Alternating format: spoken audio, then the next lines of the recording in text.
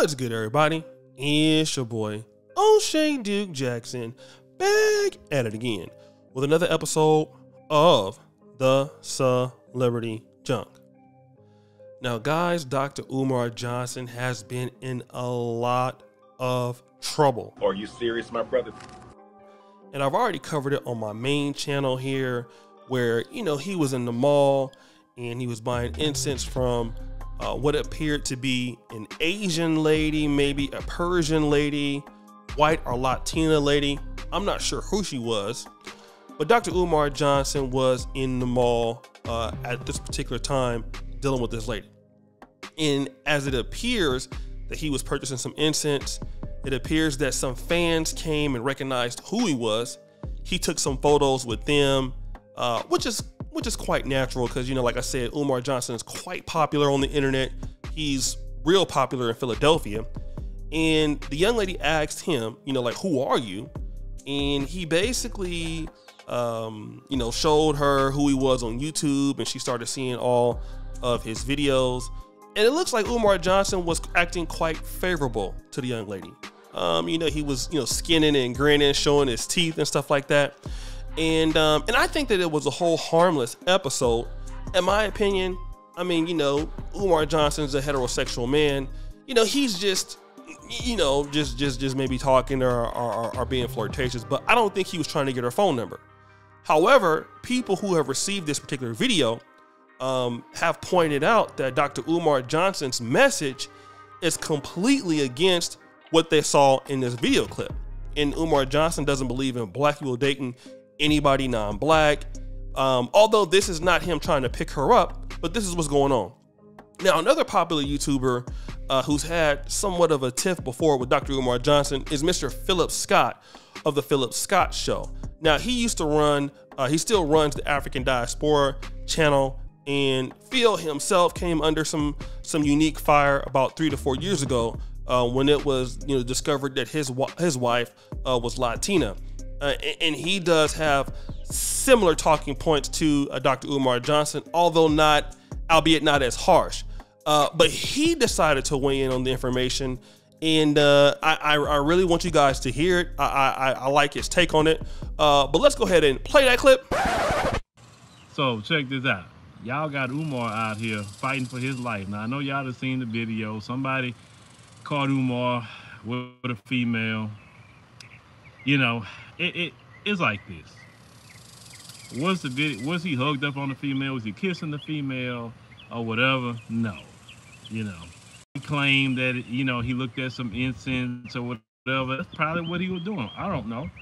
But when you are pandering to an audience that have a lot of extremist views and you have peddled a lot of extremist views, Umar, then you can't do that even in his explanation, this dude is on here putting out four different press releases, making videos. This dude is fighting for his career because boy, if, if that Persian, because if that female, they say she Persian, if that female, if that stick to his his shoe like glue, uh, like gum on the shoe, Umar's done. That's why he's doing all this talking. And he done made about two lives. He, he made to put up a video. He had somebody go track the woman down and film the woman. Umar, brother. See, you, you didn't done too much out here. See, you were doing all that talking about Shannon Sharpe and, and, and Bronny James and all the stuff you was doing. But bro, we saw the video. You you had all 32 of them teeth showing, bro. And the way you talk on the internet for years, you can't show 32 teeth with a non-African woman because he's the type of guy, and his the, I mean the, the crowd that follow him. If you're everybody's white, if you're not black, you're white. You know what I'm saying? I mean, we're not talking about real world. We're just talking about how they talk. Everybody's white. You know, even like the show. You ever seen a movie called um, The Brothers or something like that with Bill Bellamy? His mama. You you remember that scene where his he was talking about he was she was calling everybody white. He say, "Mama, well, what is she, what is she like Asian, Mama?" Oh, that's a white woman with slanted eyes. He say, "What about if she like a Hispanic? Oh, that's a white woman with a taco. Everybody white." You know, so he he's in he like the mama on the other brothers. So he can't talk to nobody. And he wants to get mad. Say, I'll talk to all kind of people. You can't. Not, the, not, not what you put out here on, on the streets. Talking about you buying it, looking at some incense and crystals. Why you didn't go look at a black woman's incense and crystals, Umar? All right, guys, you heard uh, what Brother Phil said, and again, I always like to give a, a shout out to the brother for uh, helping me understand the YouTube business more to grow my own personal channels. If it wasn't for him, um, I wouldn't be uh, where I am today. And I always mention that on this particular uh, on, on the channel whenever I refer to him. He he makes a great point. He makes a great point. You see, when you have a certain tonality in your rhetoric, you can't even be seen being cordial or flirtatious are skinning and grinning with a non-black women. The reason why is you go so hard on other black men who are in relationships with non-black women. And then when they see you, you're not, you know, looking like it's a business transaction. You look like you know, you you know, you kneeling all the way down, laughing and stuff. It looks like you're interested in this young lady. Now, I, I believe exactly that Umar Johnson was not getting her phone number. Um, I do believe that Umar Johnson was, you know, just being himself, or you know, just basically maybe just passing the time, and he was getting his things and he was leaving, and you know, she was a fan and stuff like that. But Umar Johnson likes the attention of the ladies. Yes, even the ones that are non-black. But but but brother Phil makes a strong point. You don't have any room for error when you come after black people for dealing with white people, and then when you get around a, a woman, um, then you have an issue too. Now, what? So here's what you're gonna say, right? And he brought this point up in the video. Well, she's Persian. She's not black.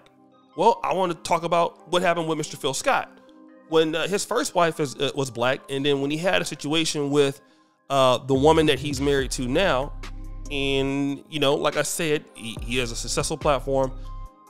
People wasn't looking at the fact that she was a Latina. You know, people were coming after Brother Phil because his wife was not black. Okay, it, it doesn't matter that she was Latina, Asian, mulatto. I could even I could even say this personally. If she had been even in a in, in, in, in another part of the diaspora, let's say she's from, and I think it's going to get there, where a lot of black men are going to get questioned for dating somebody from Ghana, Sierra Leone, Nigeria. That is coming, right? Why not an African American? Why, if you would date her, why not us? That's going to come sooner or later, but it is more favorable, okay? And I want to build on this because Dr. Umar Johnson doesn't leave a lot of room for error. You cannot talk with the same tonality and veracity about things. Um, and people in that pro black circle that have that kind of venom. And I'm not saying those brothers are not uh, bad people, but it is somewhat of a venom, right? Like anything that's interracial thing is just looked at as very, very um, distasteful.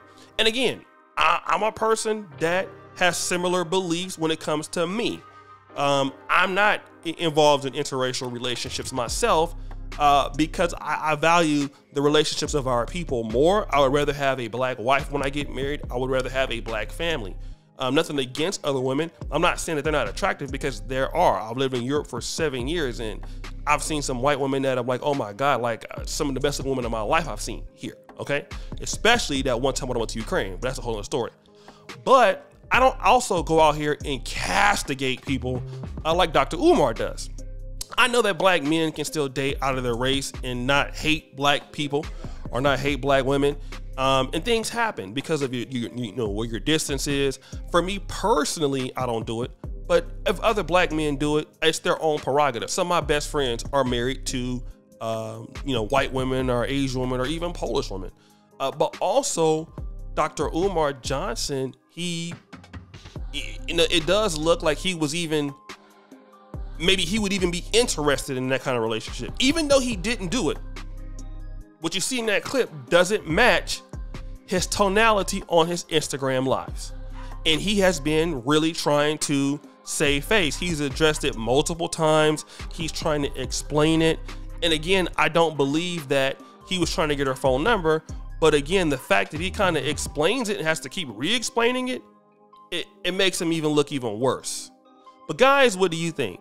I mean, do you think that Dr. Umar Johnson has an interest in non-black women? Let me know. Hit me up in the comments. And as you know, the buffoonery remains at all time high. I'm out.